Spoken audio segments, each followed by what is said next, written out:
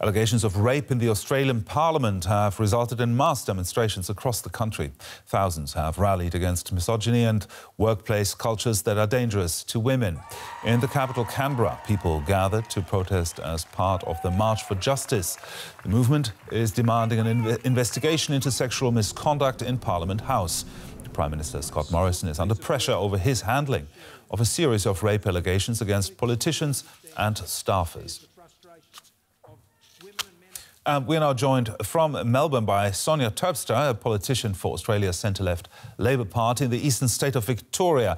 Uh, Sonja, thousands of women on the streets of more than 40 cities and towns. Uh, what's led to this? Yeah, well, um, as, you, as you were discussing earlier, the, um, there's been some very serious allegations of um, not only sexual harassment in our um, federal parliament, but also um, allegations of rape. So these are very, very serious allegations, and many women across Australia and their supporters and allies are very angry and took to the streets today to protest against that. Mm. Uh, Sonja, Australia's Prime Minister Scott Morrison made a statement about the protests uh, in Parliament uh, today. Uh, let's uh, listen to what he had to say. So I acknowledge the frustration and share the disappointment of what has yet not been achieved, Mr Speaker. Members Mr. on my Speaker, left. those who gather outside this place today, an invitation was offered to them for a meeting with me here today. A good faith action, Mr Speaker, but I respect their right of organisers to choose not to meet. Hmm. Uh, Sonja, your party is, of course, in opposition federally to the Prime Minister's. How would you rate the government's uh, handling of this?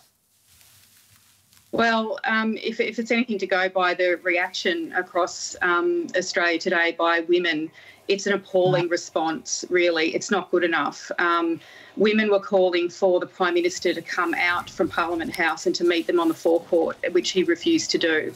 And it's it's really is a provocative and inflammatory response, and, and it's just not good enough. It's simply not good enough. So almost a decade ago, former MP Julia Gillard made a famous speech in Parliament against sexism and misogyny. Has really nothing changed in Australian politics since then?